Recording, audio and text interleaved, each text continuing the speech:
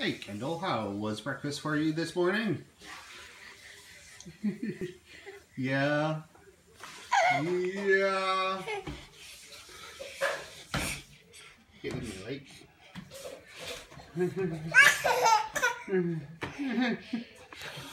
that looks awfully funny.